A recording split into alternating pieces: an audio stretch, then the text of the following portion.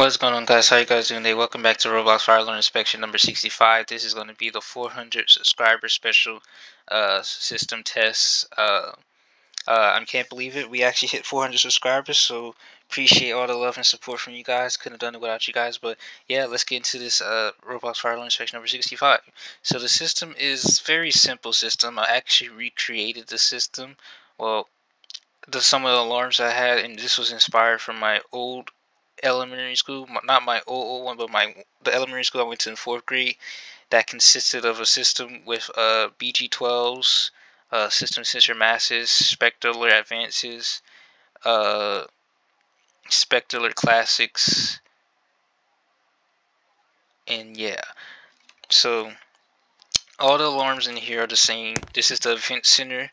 We're back at the event center, so all the alarms are the same. We all have system sensor masses in this hall. Um, we have Sister Sister Mass right here in the entranceway of the Starbucks that's not finished yet. We have SpectrAlert Advanced Horn Horn Onlys in the Starbucks. We have two Spectre Classics in the walkway entering the uh entering the little event area and then we have mostly system sensor masses all around as you can tell and then in the back in the little control room we have a Wheelock MT set on uh, continuous horn. So yeah sit back relax enjoy and I advise you if you have headphones I advise you to turn down your volume as the system is pretty loud. So here you go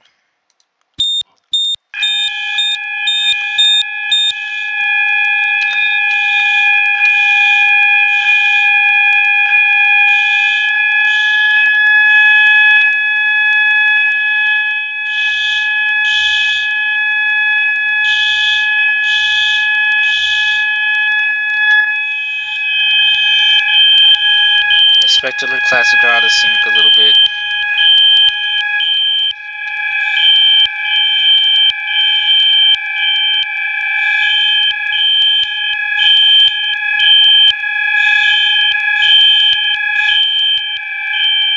And some of the strobes don't flash for some reason, so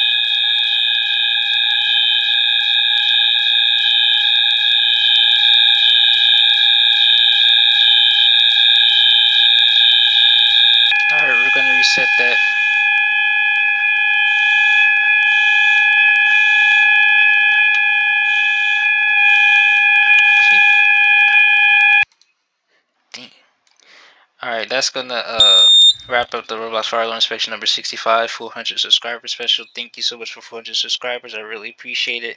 I'm glad you guys enjoy my content. And if you haven't, if for those of you who haven't already, and I forgot to reset it, okay, yep, mm-hmm, yep, yep, Yep, yep.